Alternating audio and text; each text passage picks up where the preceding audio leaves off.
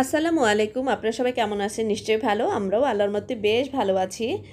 তো এই তো জিরা গুঁড়া করে নিয়ে আসছি। এই জিরাগুলো মানে যেখানে মরিচ, হলুদ ভাঙে সেখান থেকেই নিয়ে আসছি। আসলে ওদের ইয়েটা মানে মশলাগুলো অনেক ভালো প্যাকেটের চেয়ে আমি মনে করি।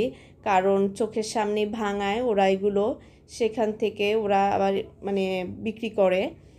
তো যাই হোক, আমি এগুলো রোদে, আমাদের ছাদে তো রোদ আসে অনেক কম, বেশি রোদ পড়ে না, যার কারণে আমি চুলার নিচে এগুলো রেখে একটু শুকিয়ে নেই।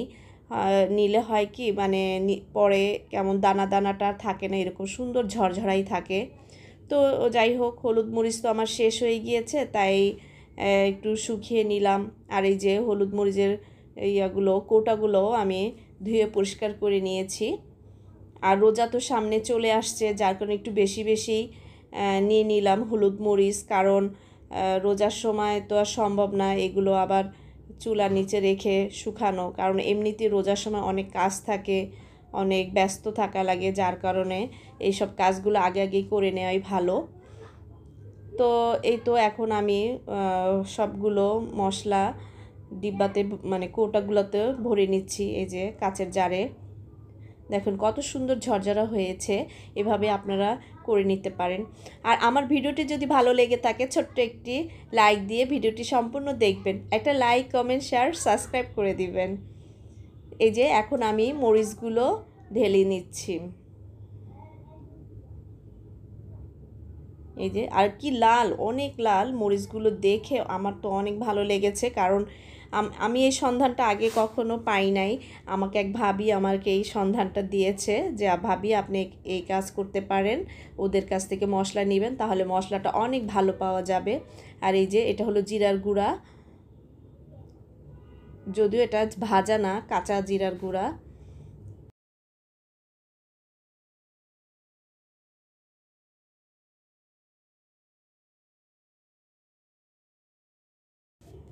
তো এই তো আমি জারে সব ভরে নিলাম। সবগুলো আমার ভরা হয়ে গিয়েছে। তো আর বাকিগুলো যেগুলো ছিল, সেগুলো আমি প্যাকেট করে রেখে দিচ্ছি। পরে যখন এই জারেরগুলো শেষ হয়ে যাবে, তখন আমি এগুলো এই যে ঢুকিয়ে নিব। এই যে প্যাকেট করে নিলাম। এভাবে প্যাকেট করে রাখলে আর কোনো সমস্যা হবে না। যেহেতু শুকানো মরিচ, হলুদ এর জন্য মশলাগুলো।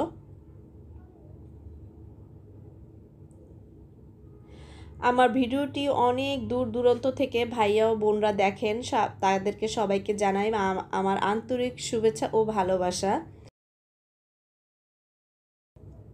তো এই যে তিনটা ডিব্বাই আমি ভরে নিলাম কোটার মধ্যে।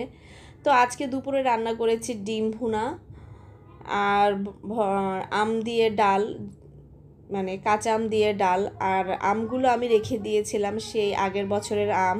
ফ্রিজে রেখে দিয়েছিলাম, সেই আমগুলো দেখি ফ্রিজে রয়ে গিয়েছে। আমার আর খেয়াল ছিল না। তো ফ্রিজ পরিষ্কার করতে গিয়ে তখন এই আমগুলো পাই। তো সেটা দিয়েই আমি রান্না করলাম আজকে আম ডাল। আর আমের দিন তো চলেই আসছে। তো আর এই তো ভাত তো রান্না করেছি। ভাত হয়ে গিয়েছে। আর করেছি ভর্তা। অনেক দিন ধরেই ভর্তা খাই না, যার কারণে আজকে একটু ভর্তা বানালাম।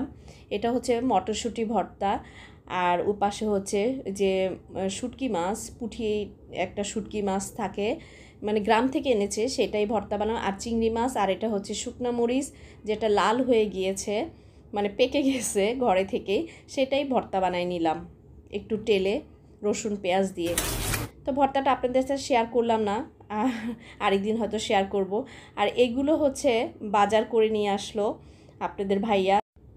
অবশ্য জিনিসপত্রের এত দাম বেড়েছে, যার কারণে একটু একটু করে বাজারগুলো তুলে নিচ্ছে। সামনে তো রোজাই চলে আসছে, যদিও এগুলো রোজার বাজার। ডাল কিনে নিয়ে আসছে, এই যে।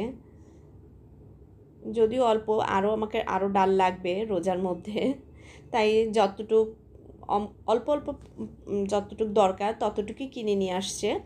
আর এই যে, আর এগুলো হচ্ছে বেসন দুই প্যাকেট বেসন নিয়ে আসছে।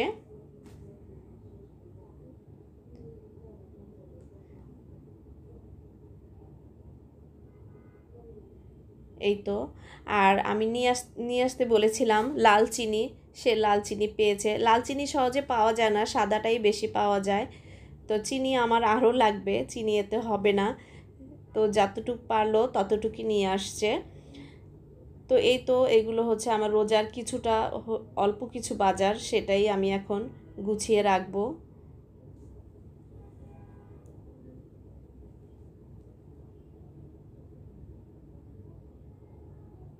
তো ডাল, মুসুরি ডাল মুসুরি ডাল দিয়ে বড়া বানাই আমি সবসময়। খেসারিটা খেতে চায় না। আর বেসন, চিনি আর তেল। তেল যদিও এক গ্যালন আছে মানে পাঁচ লিটার, তারপরেও আরেক পাঁচ পাঁচ লিটার নিয়ে আসছে। আর এই শোপিসটা আপনাদের ভাইয়া অনেক পছন্দ করেছে। তো এটা সে নিয়ে আসছে কিনে। তো কিনে নিয়ে আসছে, আমার ছেলে তো এটা পেয়ে খুব খুশি আর খুব মানে মজা মজা কি মানে বলতেছে যে এটা আমার অনেক পছন্দ হয়েছে, বাবা। খুবই সুন্দর একটা জিনিস। তো বাচ্চারা বাসায় নতুন কিছু আনলে অনেক খুশি হয়। তো আমারও ভালো লেগেছে অনেক সুন্দর জিনিসটা। খুবই ভালো লেগেছে। তো ভাবলাম কোথায় রাখব কোথায় রাখব? এখানে রাখলেই ভালো লাগবে। তো এখানেই রেখে দিলাম। তো আজ এখানেই বিদায় নিচ্ছি। আপনার সব ভালো থাকবেন, সুস্থ থাকবেন। আল্লাহ হাফেজ!